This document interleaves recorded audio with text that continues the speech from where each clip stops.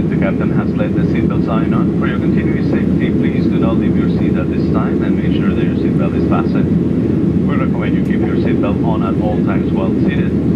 If you wish to sleep, please ensure that your seatbelt is fastened and visible to your crew so we don't need information, there are two washrooms on board this plane, one at the front and one at the back.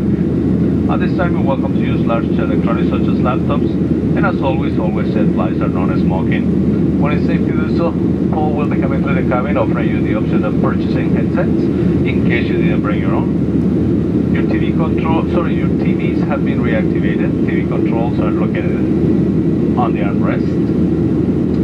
Just want to turn that screen off, hold the minus button down until the screen goes black.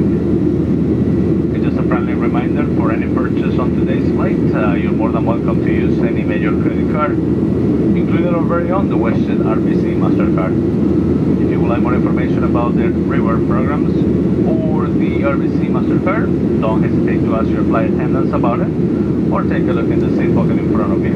An application may be there. Have a great flight.